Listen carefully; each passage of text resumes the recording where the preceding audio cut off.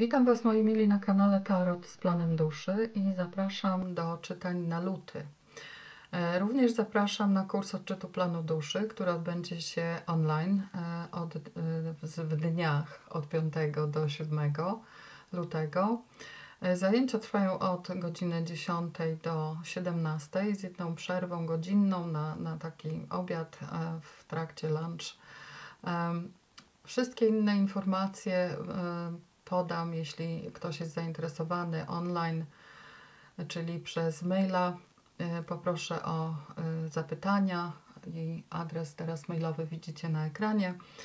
E, dziękuję też Wam bardzo za wszystkie komentarze, za przesłanych do mnie fajnych maili, dużą ilość. Dziękuję też Wam za uwagę, za to, że lubicie ten kanał i za wszystkie subskrypcje, które się pojawiają.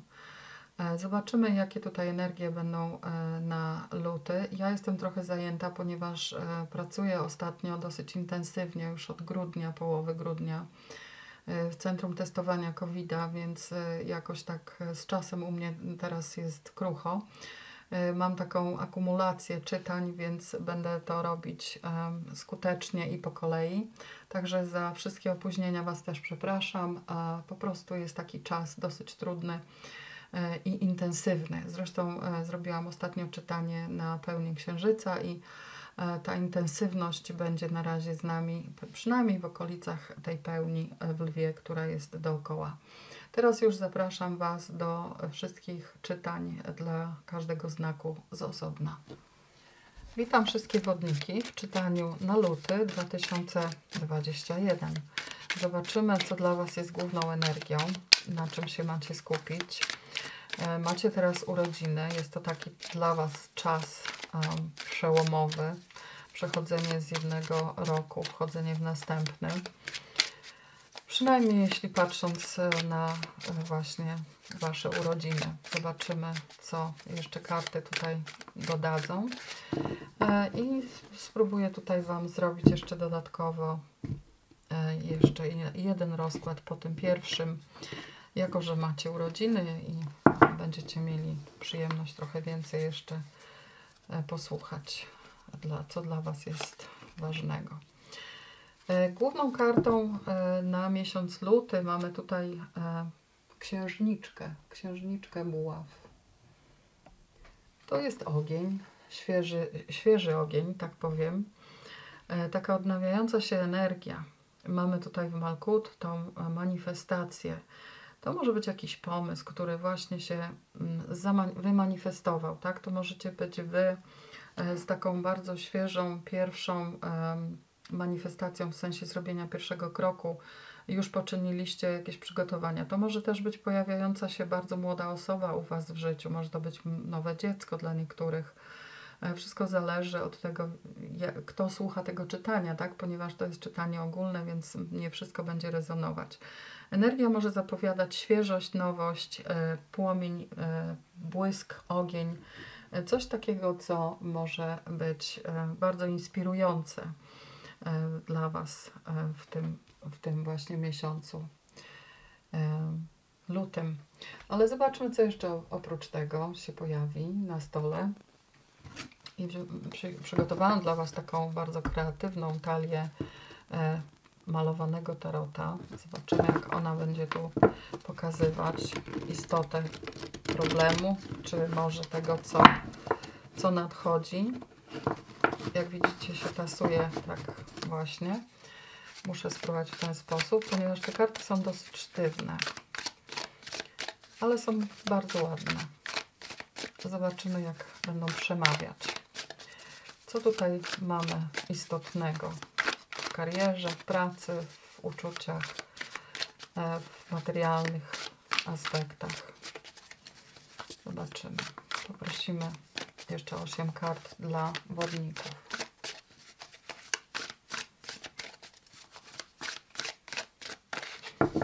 Ok. Przełożymy trzy razy, tak? I proszę bardzo. Teraz to, co odchodzi, zobaczymy jaka energia tutaj się przesuwa. może ma wpływ tutaj, o już od razu odwróciłam, bardzo piękna energia czterech buław. A, no to już wiemy. Tutaj mamy ogień twórczy, kreacja, może być kariera, tu praca, albo myśli, komunikacja, to też jest właśnie w czytaniu ogólnym, to można tutaj dużo w tej kategorii zmieścić, tak? Karty są większe, więc potrzeba też miejsca. Zobaczymy, co tutaj w materialnym świecie. I teraz, co tutaj mamy w myślach i jaki wynik. Mogą to być nadzieje, obawy tutaj. Zobaczymy, jak to będzie e, rezonować. E, w tle, w otoczeniu, w atmosferze mamy energię niepoddawania się. A zatem nie poddajemy się. Trzeba tutaj twardo wytrwać. E, no jest to duże przeciążenie, bo 9 buław to jest energia właściwie kumulacji. Tutaj jest zmęczenie, tutaj mogą być narastające sytuacje stresowe, mm, takie też jakieś takie osaczające może energię, ponieważ no, w momencie, w którym mamy dziewięć w jakimkolwiek e, tutaj żywiole, to to jest dużo. To jest tak, tak, że jeszcze jeden krok i będzie dziesiątka, ale zanim do tej dziesiątki się dostanę, to tutaj się jeszcze może, mogę mocno zmęczyć. E, więc wytrwajcie, bo to jednak jest energia wytrwałości i dacie na pewno sobie radę. E, to jest przynajmniej w atmosferze.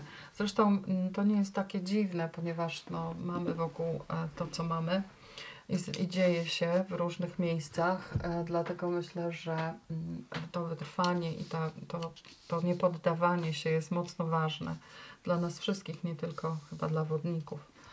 Ok, zobaczmy teraz co dalej. Ja troszeczkę y, może zbliżę jeszcze w ten sposób. Zobaczmy, co się wycofuje. No proszę.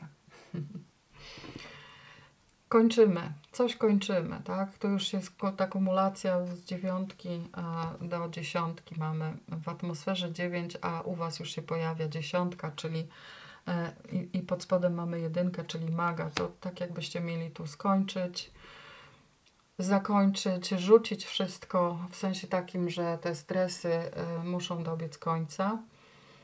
To może być zakończenie relacji, to może być zakończenie w jakiejś nerwowej sytuacji, to może być uwieńczenie jakiegoś dzieła albo nazbieranie tego wszystkiego, co mi jest potrzebne, żeby, żeby coś właśnie zaistniało, żeby się wymanifestowało, tak? Bo mamy tutaj E, tą nową energię. I tu sam ogień na razie na stole leży, więc mocno jest e, ogniowo. Bardzo dużo jest e, energii twórczej, ale też takiej stresowej, powiedziałabym.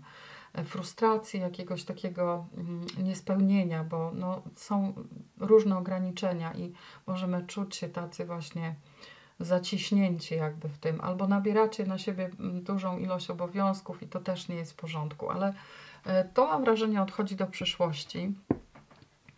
Natomiast co nadchodzi? Nadchodzi radość, nadchodzi e, taka wiosna, powiedziałabym. E, czytanie jest na luty. Koniec lutego to już jest taki czas nadziei, tak, że ta zima jednak ma swój koniec również.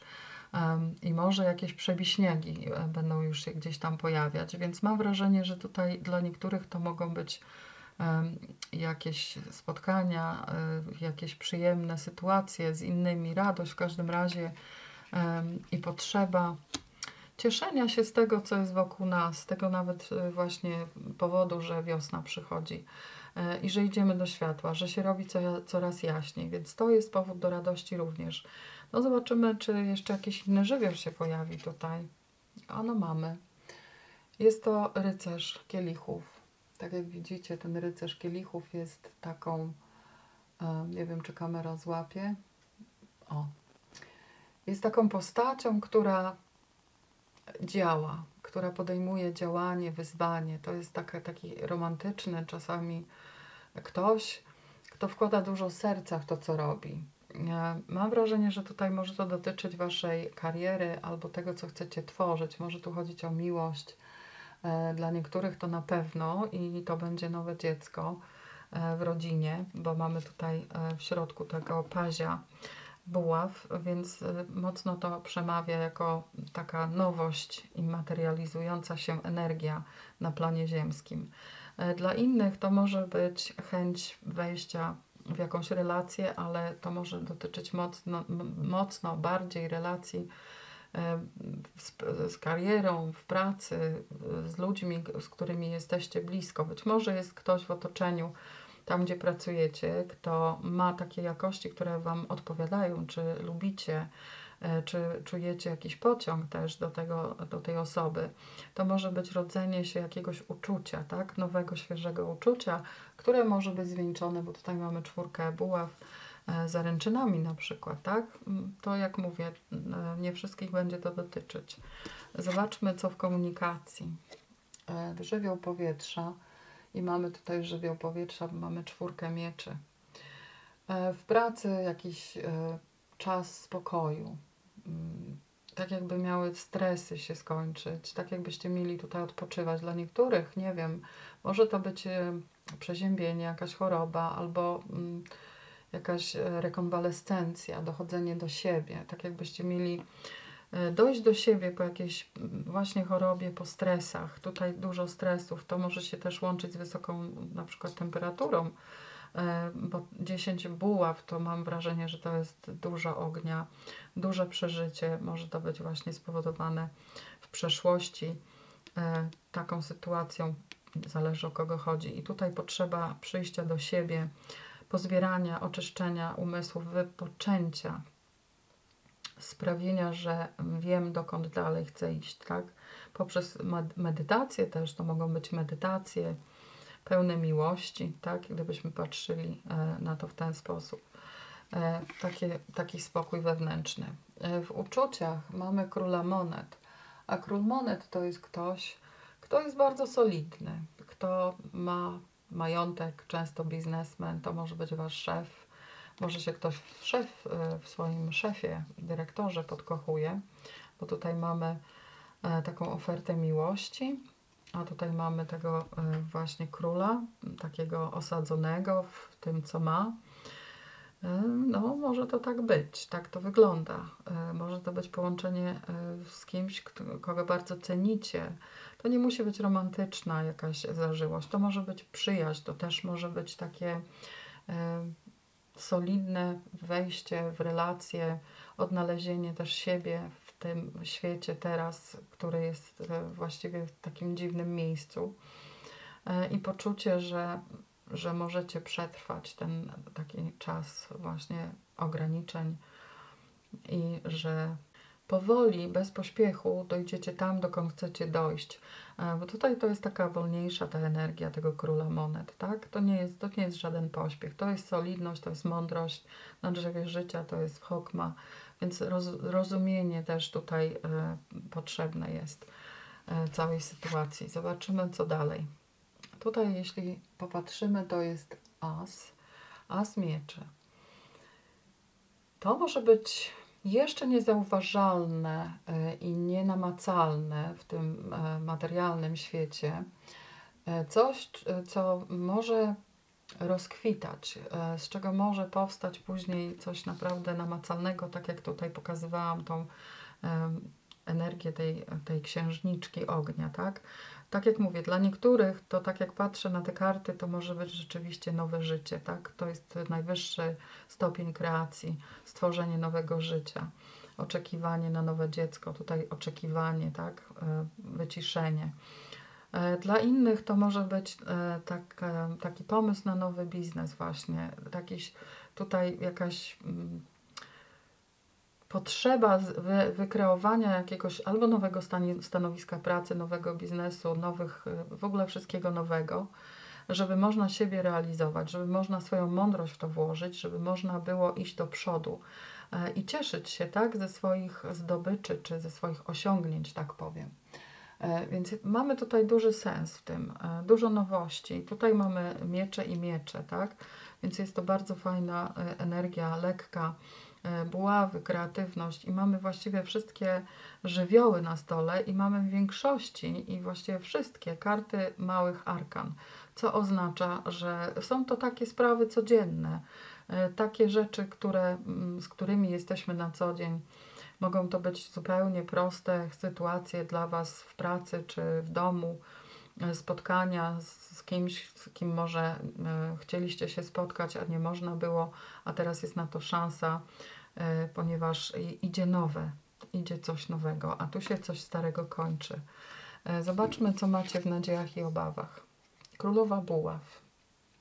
Królowa Buław to jest ekspresja twórcza, to jest dużo mm, takiej ognistej energii, to jest, taka, to jest taka, takie zrozumienie, czego ja chcę, co chcę sobie wykreować, co chcę stworzyć. E, co ciekawe, to tutaj mamy ogień, tu ogień i tu ogień, tak jakbyśmy mieli taką taką obręcz e, wokoło tego lutego, taką ognistą, w której jest kumulacja właśnie takich codziennych spraw, z którymi będziecie mieli do czynienia. Pojawienie się właśnie nowych e, osób, pojawienie się nowych możliwości, jakaś lekkość, jeśli chodzi o finanse czy o wasze ciało, poczucie połączenia też z jakąś jasnością umysłu, co do tego, dokąd dalej chcę iść po zakończeniu oczywiście tego etapu. A co się kreuje? Tutaj pokazuje się czwórka monet jako wynik, czyli budowanie, podstawy, zwracanie uwagi na to, co buduję i w jaki sposób buduję. Czy mam wystarczającą ilość pieniędzy e, i gdzie chcę to, e, żeby to mm, zmaterializowało się, to co chcę e, stworzyć i zbudować. Czy to też może chodzić też o związek i może to być taka jakby podstawa dla związku, że tutaj jest jakieś działanie ze strony jednej i drugiej i że mamy tutaj porozumienie dusz, gdybyśmy chcieli czytać o związkach. To jest też taka energia solidności, asertywności. Jeśli chcemy coś osiągnąć, e, to potrzebujemy wiedzieć, mieć na myśli ten koniec drogi, kiedy zaczynamy, tak, kiedy coś zaczynamy tworzyć, to ta wizja tego, do czego chcemy dążyć, jest bardzo ważna. Powinniśmy mieć ten, ten plan taki, przynajmniej w zarysie, i tą wizję tego zakończenia, tak jak łupiec i karta świat. E, to może też być potrzebne. Mamy tutaj dwie czwórki, e, co mówi o stabilności, o stabilizacji. Mam wrażenie, że ten miesiąc będzie mocno stabilny. E, będzie takim miesiącem oczekiwania trochę na, na wiosnę i na radość, cieplejsze dni, tak? I dłuższe dni, tak zwyczajnie i normalnie.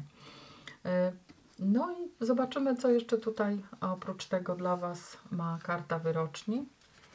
I zrobimy jeszcze jeden rozkład dla wodników, żebyśmy się dowiedzieli na przykład. jeśli macie jakiś problem, to co możecie zrobić, jak go możecie rozwiązać? Taki, taki rozkład jeszcze dla Was będzie z pięciu kart. A tutaj na podsumowanie e, tego miesiąca, jeszcze lutego, jedna karta z wyroczni. To będzie ta. Wierzę i ufam w moje relacje, tak? Czyli mam zaufanie do swoich relacji obojętnie, bez względu na wszystko, to te relacje są mocno ważne. E, różnimy się często bardzo, jesteśmy tak trochę jak e, w tej książce Mężczyźni są chyba z Marsa, a kobiety z Wenus, właśnie. To my właśnie tacy jesteśmy. Bardzo różni, e, ale genialni w, tym, w, tej, w tej różności, jeśli rozumiecie, co mam na myśli potrafimy połączyć te, te różne aspekty, jeśli chcemy oczywiście, jeśli chcemy budować trwałe relacje i mam wrażenie, że tu mocno też jest e, w tym czytaniu w lutym o relacjach, o budowaniu takich solidnych relacji, które e, są spokojne, które, w których nie ma jakiegoś um, niezdrowego podniecenia, tak powiem, gdzie jesteśmy wszyscy w, takim, w takiej komitywie e, ufamy sobie nawzajem, bo zaufanie to jest podstawa, prawda, zaufanie w tych relacjach e, to jest też niesienie pomocy e, sobie nawzajem. I wiara w to, że każdy z nas ma w sobie i dobro, e, i zło, i że potrafimy pogodzić te dwa aspekty, tak? Że jesteśmy w zgodzie, w równowadze, że potrafimy dojść tutaj jeszcze dalej. E, ja tylko wspomniałam o tych dwóch czwórkach, a przecież tutaj też leży czwórka i teraz patrzę, że przecież macie e, trzy czwórki, więc stąd to jest moje to poczucie też takiej, takiej stabilizacji, takiego trochę może zamknięcia też w jakimś swoim kręgu w takim kręgu znajomych być może i znajomych miejsc, znajomych ludzi, bo czwórki jednak też trochę ograniczają, ale wracając do karty tej, tych relacji, to miejcie zaufanie do tych relacji i do siebie, tak? Te relacje mm, dają dużo satysfakcji i pomagają e, właśnie w tych trudnych chwilach, teraz, kiedy e, mamy taki czas e, styczeń i, i mamy też ogólnoświatową pandemię, to, to opieranie się wzajemnie na sobie i zaufanie mm, daje nam dużo spokoju umysłu i takiego mm, w ogóle wyciszenia też. E, takie odnoszę wrażenie e, w tym czytaniu. No dobrze, to teraz zobaczymy jeszcze dla Was pięć kart, taki rozkład e, i zobaczymy, co tutaj można wyczytać. To będzie problem, który być może macie. Może to być pytanie. I zobaczymy, jak Tarot odpowie na to pytanie. Do tego celu użyjemy innej talii. E, I zobaczymy, jak ta talia będzie mówić o tym. Czyli na początek tasujemy.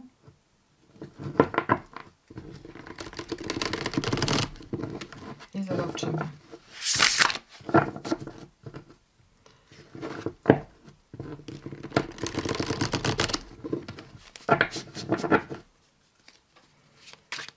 Pięć kart zobaczymy, co tutaj nam karty odpowiedzą. Pierwsza karta będzie pytaniem, czy sytuacją, czy jakąś, jakimś innym problemem, a ostatnia karta będzie wynikiem i rozwiązaniem. Ok. Specjalnie dla Was wodniki. Tutaj mamy, co jest zapytaniem, tak jak mówiłam wcześniej. I zobaczymy, jak tu się będzie rozwijać, jakie mamy porady. I tutaj jaki będzie wynik. Ok, trochę wyżej. No dobrze. Co w atmosferze? Radość. E, radość, świętowanie. No tak jak e, pomyślimy, to jest karnawał, więc bawmy się. E, pomimo wszystko właśnie, jaka jest może sytuacja albo pytanie?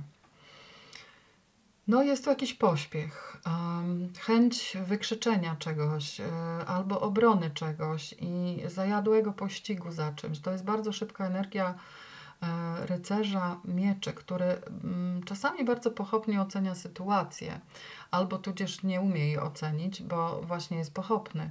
Więc tutaj, y, mm, jeśli to jest problem, to proszę y, zobaczcie, jak pochopnie jesteście w ocenie, albo jak y, szybko tutaj coś się zadziewa, coś się dzieje. Zobaczmy, co tu może być wyzwaniem. Wyzwaniem mogą być dwa kielichy tak, w tej całej sytuacji. Czy to jest prawdziwa miłość, czy to jest prawdziwe połączenie dusz, serc, czy jestem w stanie tutaj współpracować. E, czy jestem w stanie tutaj być z tą osobą, tak? W zależności od tego, czy macie pytanie, czy macie jakiś problem. E, to tutaj wyzwaniem jest e, zobaczenie też może tego połączenia, czy tej miłości, czy czegoś, co jest między ludźmi. Bo tutaj ktoś bardzo szybko i pochopnie ocenia sytuację i to może być tutaj mm, trudne, myślę, i to może być problemem. Co tu można w jaki sposób tu znaleźć rozwiązanie tego?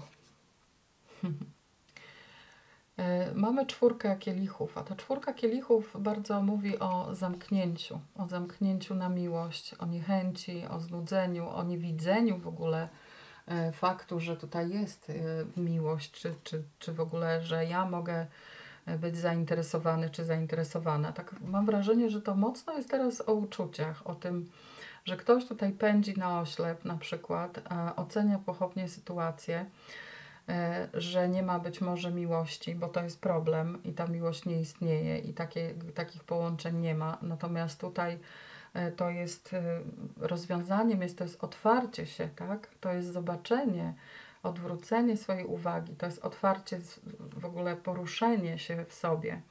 To jest karta ruchu, a ta karta jest kartą stagnacji, więc e, mamy tutaj taką sprzeczność. Natomiast tutaj mamy co ukryte. Ukryte tutaj jest e, król denarów, tak? Czyli mamy tutaj ukrytego króla, jakaś mądrość jest ukryta.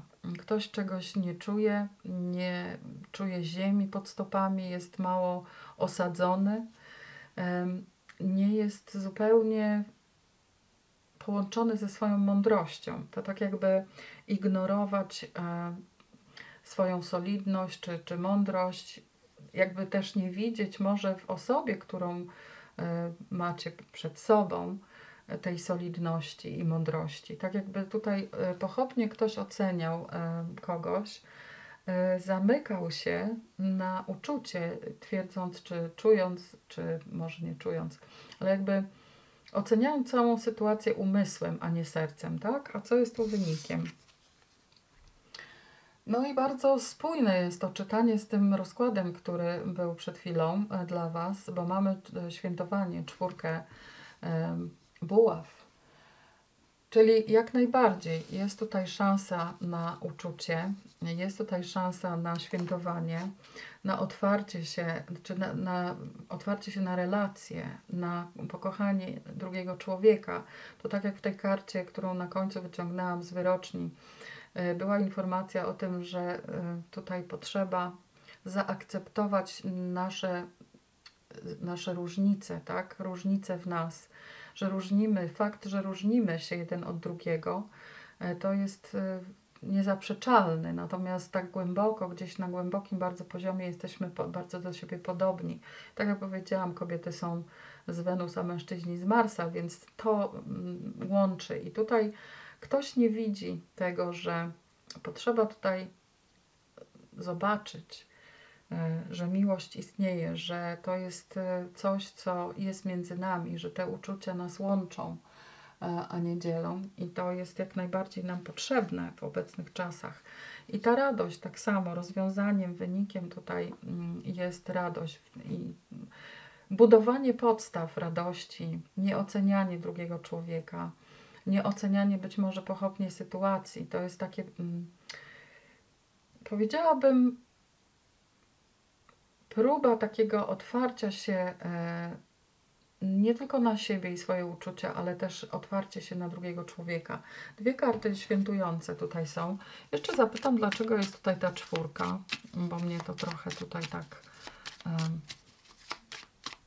zastanawia. W jaki sposób ta czwórka daje rozwiązanie? Zresztą znowu mamy dwie czwórki, tak? E, więc macie bardzo czwórkowo na luty. Ta karta idzie z powrotem. Zobaczmy. Raz przełożę te karty. Dobrze. I znowu co? Mamy pazia w centrum. Pazia buław. Otwórzcie się na coś nowego. Tutaj rozwiązaniem jest otwarcie się. Otwarcie się, nie zamykanie się przede wszystkim. Te czwórki jednak mogą ograniczać, dlatego tutaj porada jest taka, żeby nie zamykać się w sobie, e, iść do innych i, i być z innymi. Przepraszam za te hałasy, ale właśnie chciałam jeszcze dla Was dociągnąć kartę wyroczni uzdrawiania, uzdrawiania szamańskiego na samo zakończenie. Jeszcze zobaczymy, jaka to jest karta podsumowująca i dająca jakieś informacje. Ok, przełożymy raz.